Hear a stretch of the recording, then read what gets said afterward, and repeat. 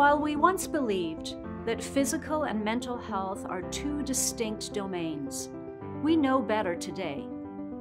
For instance, the Women's Health Initiative found that a history of panic attacks triples a woman's risk of a coronary event or stroke. Our mental and physical health are intertwined. Hello, my name is Dr. Michele Nealon, and I'm the president of the Chicago School of Professional Psychology.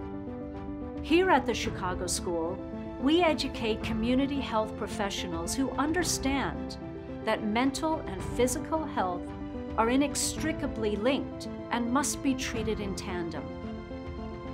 By moving away from an approach that isolates each health challenge and attempts to mend each challenge in turn, practitioners must acknowledge the links between mental and physical illness and treat root causes of health challenges, whether those root causes are physical or mental in nature.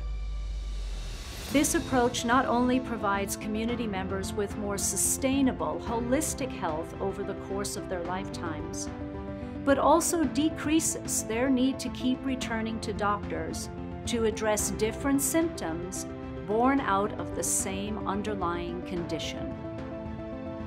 Through this patient centered approach, health professionals of all specializations and backgrounds work as a team and add their unique expertise to the equation used to secure long term wellness.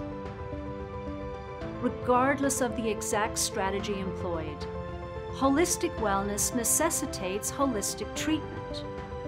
With a commitment to integrated care, we can ensure that people achieve the complete care that they deserve.